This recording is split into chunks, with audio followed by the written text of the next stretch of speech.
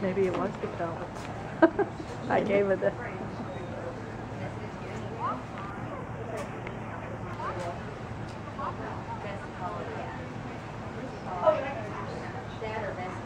Can you grab me a brush?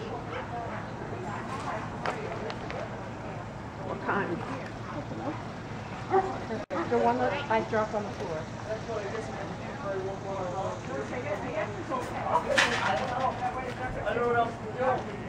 Clarence.